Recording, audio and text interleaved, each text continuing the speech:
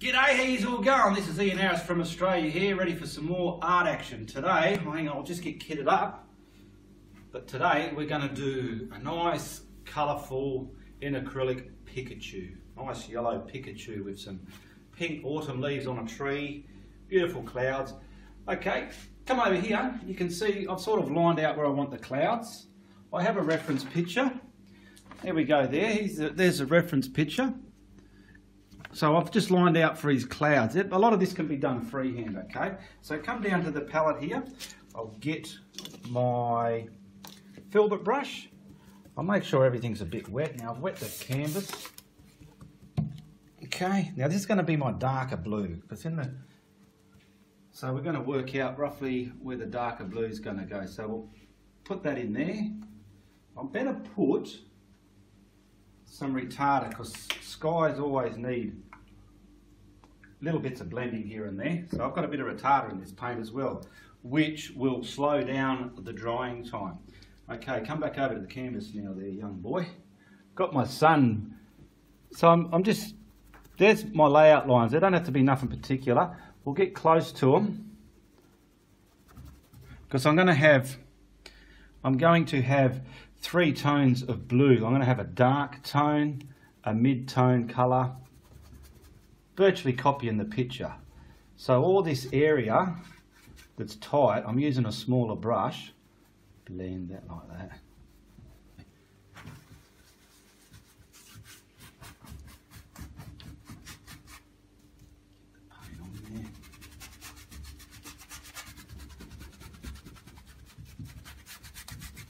So we're going to come a, a tone lighter. Okay, this is going to be my next the next tone in.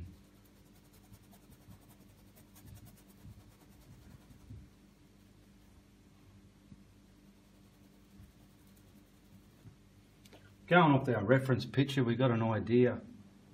Oh. We're going to get out a dry brush. Come over here. Come over here. You saw this before in the other battle painting I did. Just want to blend these if you like so it's not too cartoony. It's a bit of a cartoon image we're doing here, but you want a bit of realism in it, just so as that looks blendable, or blended I mean. And see I could see a few stroke marks in all this, so I might soften that up a bit as well. So I'm just getting it on with my filbert brush, any old willy-nilly way in that area. See, it's real easy.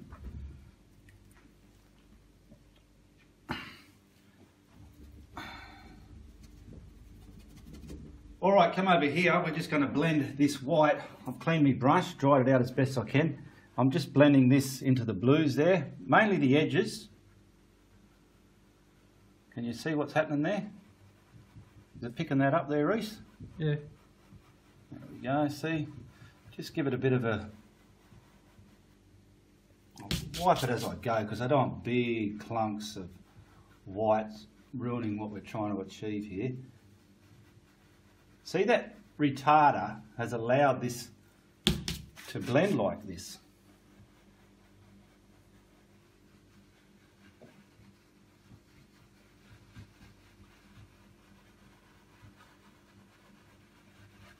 All right, what I want to do, come down here on the palette I've got a bit of dioxazine purple, just to give this sky a bit more depth and clarity, I'm going to just put a bit in the V areas of the sky like so.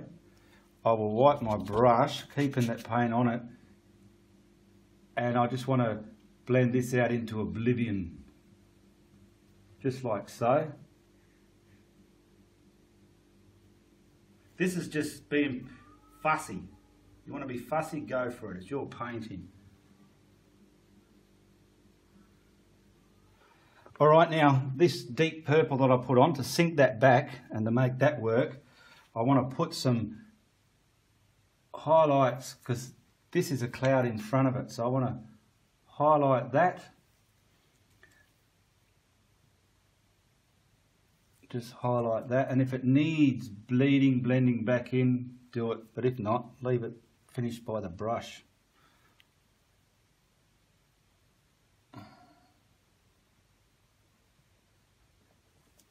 wipe your brush.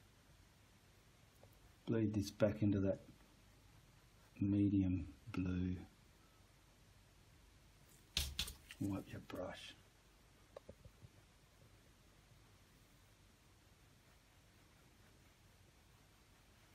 The best way to paint a cloud, I'll tell you people, is to think like a cloud. You think like a cloud, you can paint like a cloud.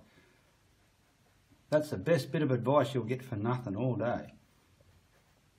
All right, I'm finished with the clouds there till we get the trees and everything in front of it, so that's all the background done. We're going to blow dry it. So come over here. Because it's acrylic, like I said, you've got to blow dry it very well so as we can put the other prints over there and it won't mud up this paint. You don't want the paint turning to mud. Alright, I've got some burnt sienna and some raw sienna dark for the tree here. Just they're the two colours I want to use for the tree just to get some trunk colour and then we'll go to um, the highlighting colours, okay? So if I roughly map it out with me paint so I know where I'm going. Somewhere up here, there's a bit of a branch there. I've put a rough layout of where I want the tree. Somewhere there. Another branch. Now what, what I'll do, stay on the canvas, I'll wet my brush a bit and I want to keep that line nice and sharp like I've showed you on previous paintings when you're doing the edge of a line. Twist your brush to keep it sharp. Okay, come in here on an angle there. See that blob?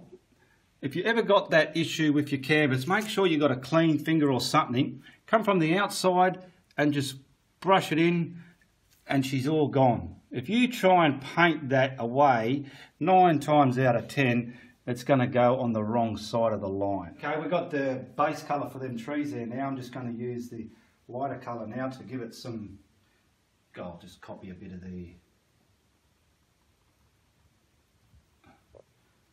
reference picture there and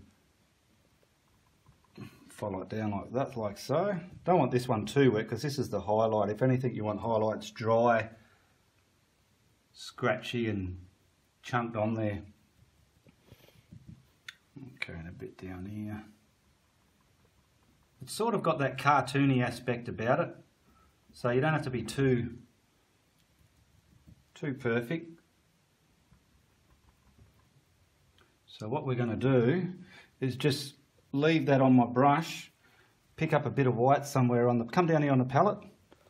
I've just picked up a bit of white and see how I've toned that down? Come back up onto the canvas there. And see this is still all dotty and wet. We'll just go to maybe this side here. Just bleed that in a bit. Tickle around play with it. And it's just sort of got rid of that two-dimensional doesn't matter if it blends it doesn't have to be real dotty see if you get if you, if you feel it blending let it blend all right We'll just blow dry this tree now and then we'll go for our second layer which would be the leaves over that tree. Alrighty okay? now we're going to put some beautiful pink leaves over here. Look at the here, look down on the palette board there. I've mixed up some white and just put the little bits of red in there. You go too much on it, you'll kill your colour. Now I've got me reference picture here so we'll virtually see where we want these leaves. I'm just using the filbert to make the shape of the leaves. Try not to think too much about your picture. Let it take care of itself.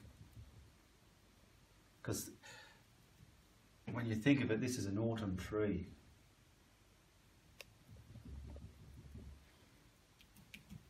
Okay, so all this corner is virtually really covered in, don't kill it too much.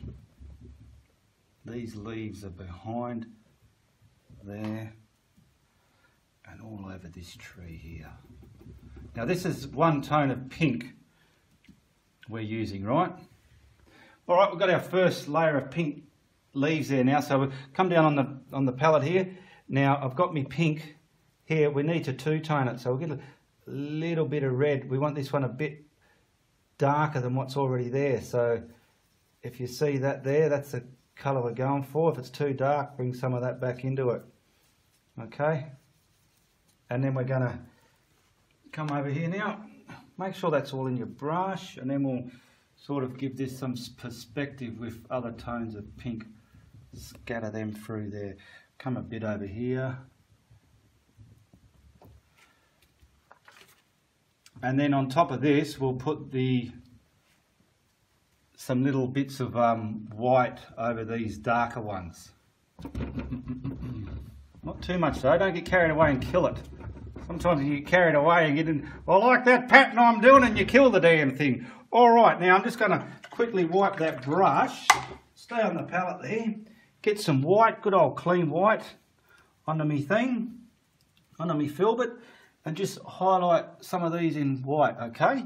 Okay, these are like the petals of the tree leaves falling off, so we better put them in there because I wasn't going to, but then again I thought, hang on a minute, it's sort of the atmosphere that Pikachu would live in.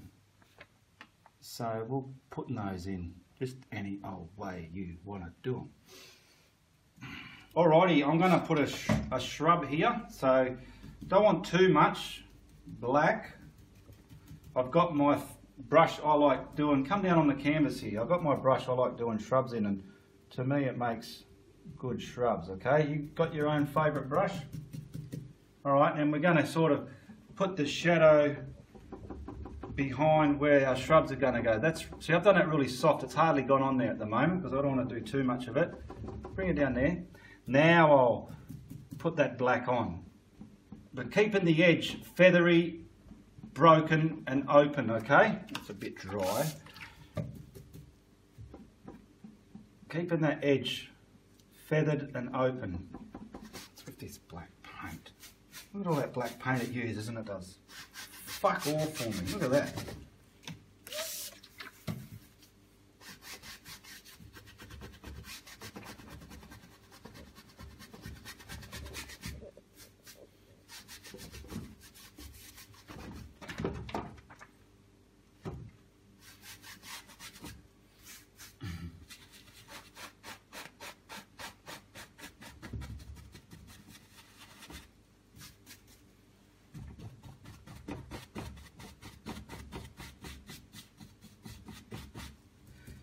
Done the black, I've dried that so it's not going to bleed in with this green. And this is going to be the actual green that we want our shrubs to be. But leaving some of the black there okay? That's it. Oh, I'll use my fan brush to get some. Get some distinct ones there. Okay, I've got my shrubs outlined there. Now we determine what shrubs are where. So we get my beautiful little shrub brush again and where you put this determines what shrub is where. So can you come in here? Not too close, but close enough. See now, I'm going to leave a bit of space and bring maybe that in front of that. If you see what's happening here, I've got to leave some of this dark green in there. Don't kill too much of that, Ian. And some, stay on there. We just sort of made shrubs. Okay. Now, remember I told you with a little bit of white. I've come down here. I've just grabbed a little bit of white. Can you see that? And getting this, it's sort of making it a lemony, yellowy colour, okay? Just enough to highlight that. So come over here. That's not quite enough. You don't want this thick either, you want this sort of thin. You can practice somewhere if you want. See how that's got a big gluggy edge? You don't want that. You want a nice open edge, because this is just a highlight. Come up here now. Softly those bits of yellow green we put on, we're just putting little hats on them. Just the littlest hats. Can you see?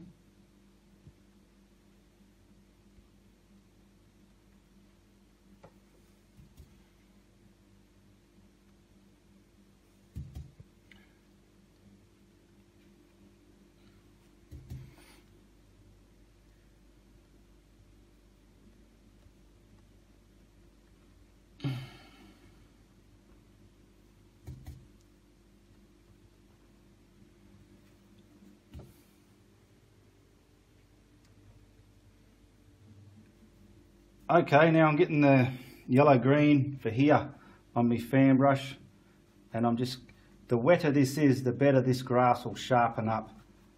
Okay, there's a teensy bit more water in there.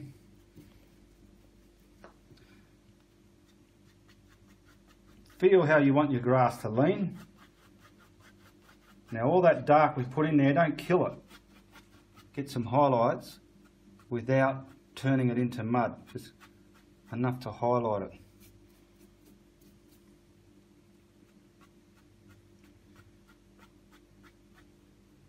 Okay, now see here, we're going to create our path.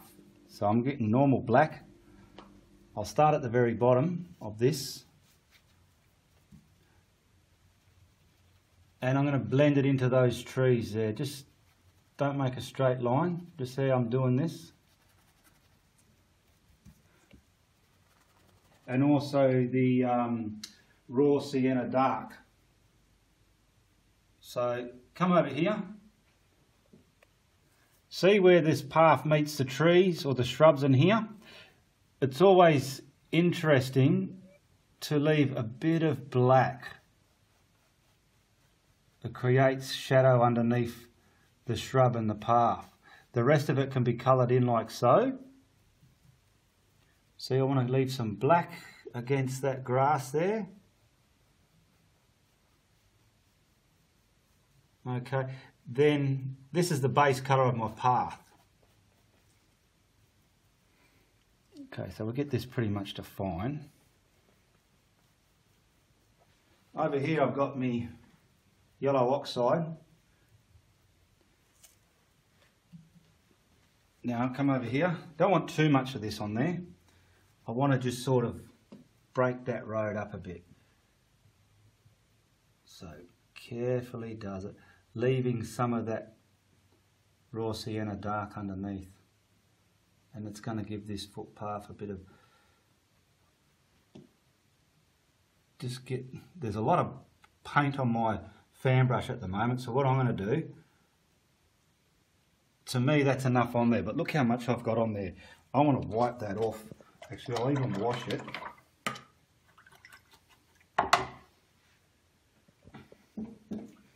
Okay and it's damp from the wash.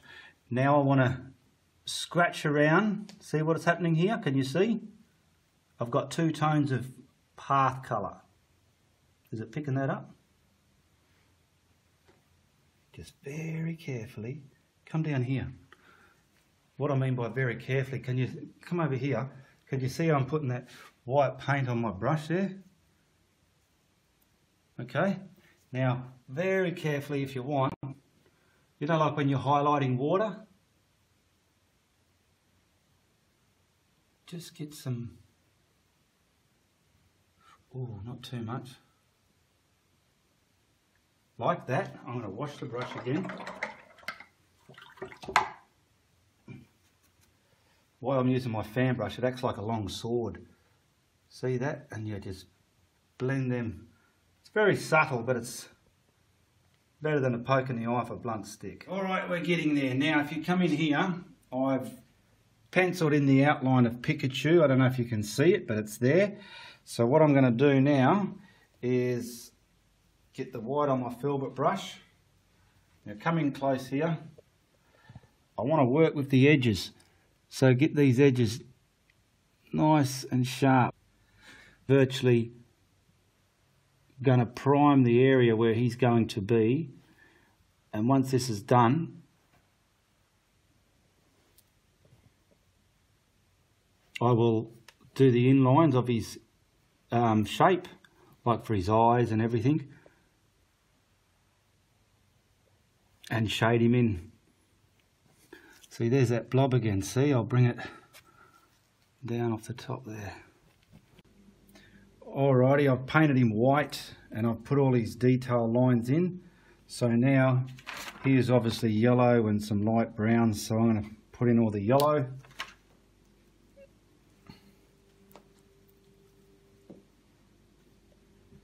And this yellow is going to make up the edge of his figure. Work on your edges first. and then you can come in and paint the inside areas. Like I said before in previous videos, you don't want those edges all feathered and broken. Got him all yellow. I've left the bits out that I want to do dark, so I'll start with the top of his ears and we'll get those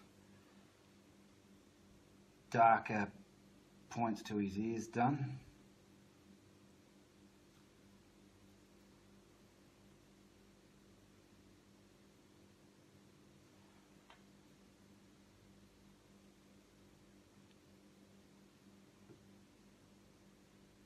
Okay, I'm getting my raw sienna dark just for the toning colours in his actual body, which is virtually all this part of the tail up to about there.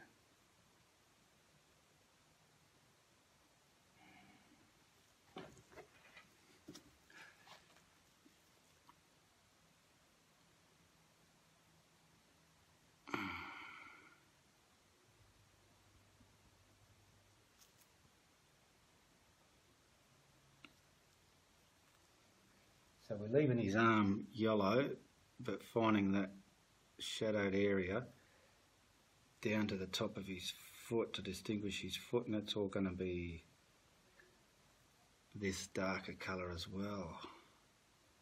So I'll get it in there roughly where I want it. Alright, I'm just finishing off this little mouse figure thing here. I think he's a mouse, my son told me. My son Reese has his own gaming channel it'll be in the subscriptions below. You can click on that if you're interested in looking at some of his work. Now I'm just getting the finishing all this off now, like just putting the little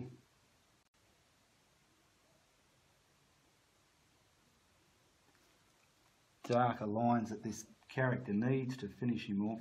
I'll sign it. Alright, that's finished. Little Pikachu, wherever he is in his field. Hope you like that video. I'm just going to sign it and she's ready to spray varnish. Goodbye, good luck, and good on ya.